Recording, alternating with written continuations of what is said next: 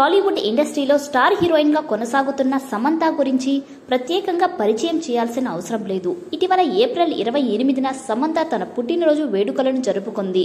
ఈ ఏడాది యమ్ముడు ముప్పై ఆరవ పుట్టినరోజుని స్నేహితుల మధ్య ఘనంగా జరుపుకుంది. తాజాగా తన బర్త్డే సెలబ్రేషన్కి సంబంధించిన ఫోటోలను సోషల్ మీడియాలో షేర్ చేస్తూ ఇంట్రెస్టింగ్ పోస్ట్ను షేర్ చేసింది. ప్రస్తుతం షేర్ చేసిన పోస్ట్ వైరల్గా మారింది.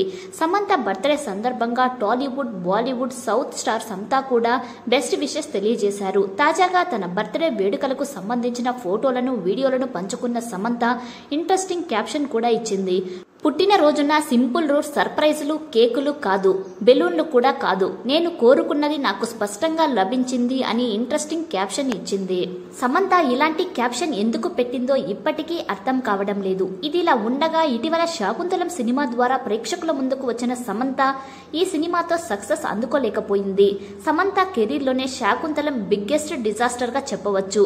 ఇక ప్రస్తుతం American action thriller Citadel web సిరీస్లో వరుణ్ ధావన్తో కలిసి నటిస్తుంది. ఇటీవల సెటాడిల్ ప్రమోషన్లో కూడా సమంత సందడి చేసింది. ఇక తెలుగులో విజయ్ దేవరకొండ సరసన ఖుషీలో నటిస్తూ బిజీగా ఉంది.